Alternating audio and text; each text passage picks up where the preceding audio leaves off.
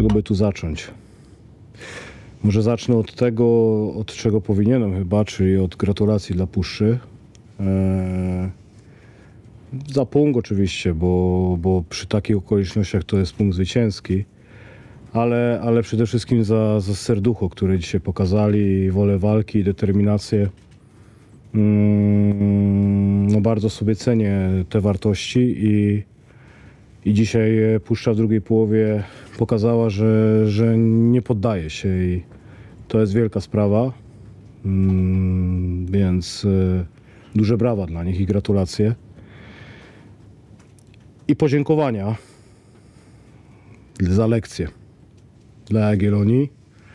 Eee, nie chcę powiedzieć chyba lekcję pokory, bo nie uważam, żebyśmy zlekceważyli w jakikolwiek e, sposób i momencie przeciwnika. Po prostu mm, mam wrażenie, że ta runda plus ta pierwsza połowa, która uważam, że była bardzo dobra w naszym wykonaniu, spowodowała, że e, poczuliśmy się bardzo pewnie.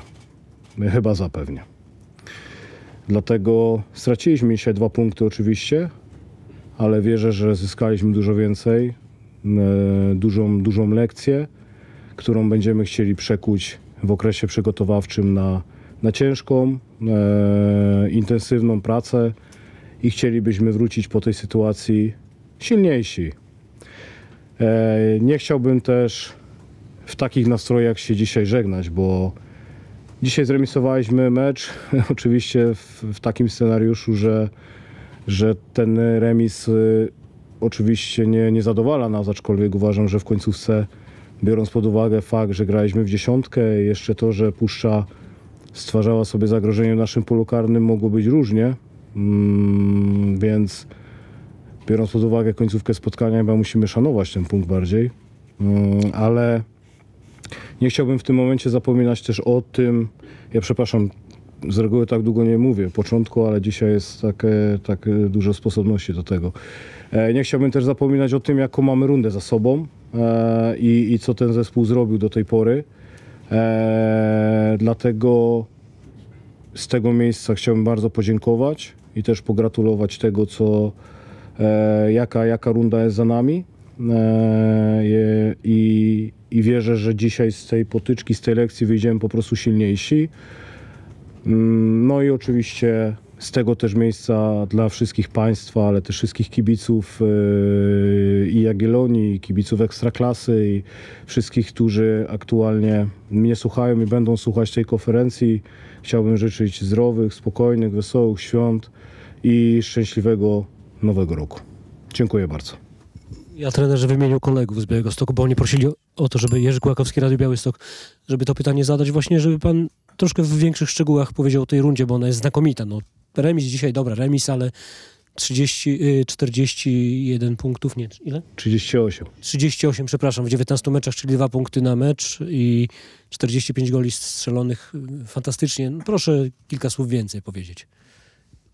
Znaczy, no przede wszystkim e, zgadzam się, że, że bardzo dobra runda za nami i dlatego mówię, fajnie, że, że potrafimy teraz e, troszkę z boku stanąć i, i zostawić te emocje związane z tym meczem i na chłodno ją ocenić, bo dzisiaj oczywiście pierwszy taki po, po meczu jest rozczarowanie, ale, ale no, patrząc całościowo na to, w którym miejscu jesteśmy, to, to jest fantastyczny czas. Ja cały czas powtarzam, że my się dalej uczymy i dzisiaj ten mecz pokazał, że, że jeszcze dużo pracy przed nami, że, że potrzebujemy więcej dojrzałości, że pot- potrzebujemy więcej odpowiedzialności, potrzebujemy więcej konsekwencji, bo gotowy i skończony zespół nie może wypuścić e, zwycięstwa e, na boisku Beniaminka w momencie, kiedy prowadzi po pierwszej połowie 3-0 i gra dobry mecz.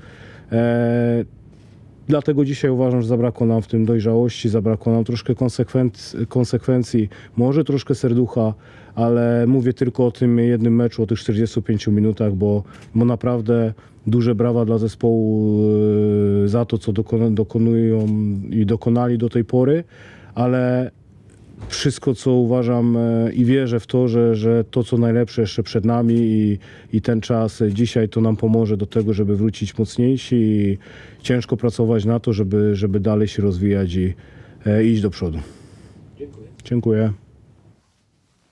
Grzegorz Wojtowicz, Polska Agencja Prasowa. Ja mimo wszystko jeszcze chciałbym wrócić do tego meczu i pana zapytać, czy, bo pan tu całkiem niedawno e, w meczu z Krakowią też mówił trochę, że dostaliście, może nie wiem czy dosłownie lekcję, ale też był taki mecz, że z Krakowią prowadziliście 4-0, potem było 4-2 i też trochę niepokoju.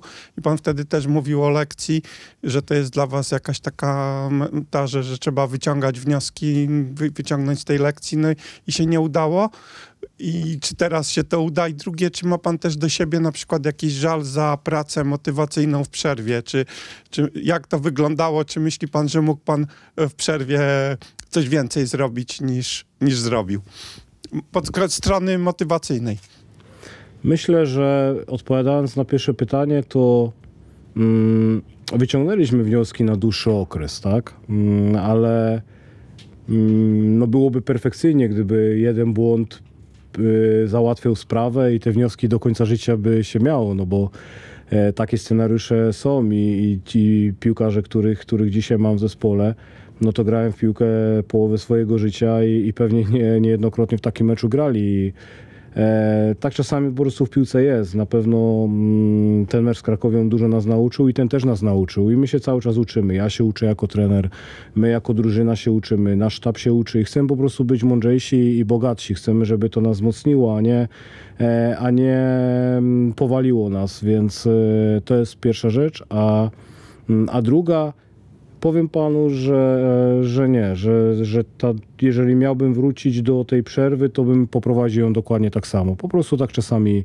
jest, że mimo zabiegów, mimo, e, mimo odpowiednich e, sposobów motywacyjnych e, zespół nie, nie reaguje tak jakby e, tak jakby chciał, ale no mówię, nie chciałbym tutaj opierać się na krytyce drużyny, chcę ją docenić za to, co zrobiła do tej pory, a po prostu dzisiaj taka fajna nauczka dla nas i przestroga, że e, że po prostu mm, no jeszcze dużo pracy przed nami i, i, i musimy nabierać tej dojrzałości i odpowiedzialności.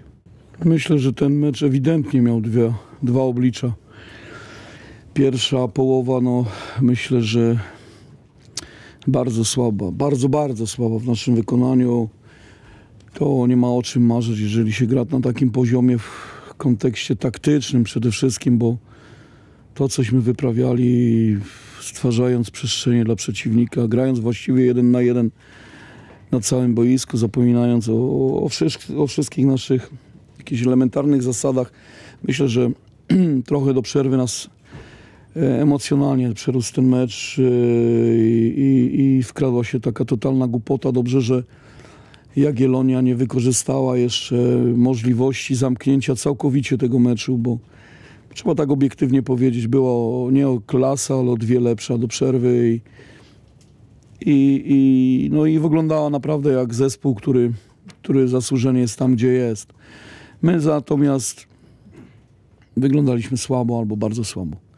Po przerwie zmieniło się to poprzez to, że strzeliśmy bramkę i dostaliśmy skrzydeł, trochę zmieniliśmy ustawienie, weszli inni zawodnicy, ale tu nie chcę też obarczać tych zawodników, co grali do przerwy, że to ich wina absolutnie, no po prostu zespół grał jako cały zespół fatalnie taktycznie.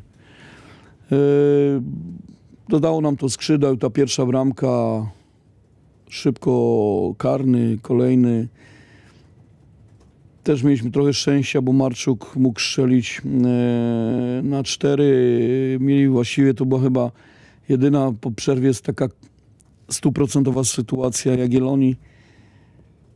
A my w końcu co jeszcze mogliśmy wygrać ten mecz, bo, bo e, drogę, piłka zmierzała do bramki, a niestety odbiła się od naszego zawodnika i, i w poprzeczkę, ale reasumując, podsumowując, trzeba być zadowolony z tego punktu. Chwała chłopakom, gratulacje szczególnie za tą drugą połowę, a przede wszystkim gratulacje za cały ten rok. Coś nieprawdopodobnego, jeżeli chodzi o, o to, co się wydarzyło w naszym klubie, w naszej drużynie, w naszej społeczności. Jesteśmy w ekstraklasie i, i pokazujemy to, co jest mocną stroną naszej drużyny, myślę, całej Polsce. Dziękuję bardzo. Ja mu, mam taką prywatę. Chciałem dwa słowa, korzystając z okazji, że jestem tutaj Chciałem złożyć wszystkim kibicom naszym, działaczom, osobom pracującym w klubie, piłkarzom, ale też Państwu zdrowych, wesołych świąt, spokojnych, rodzinnych, świąt pełnych dobrych doznań czy serdeczności, ale też spokojnego i szczęśliwego roku 2024. Wszystkiego dobrego na ten nowy rok. Dziękuję bardzo.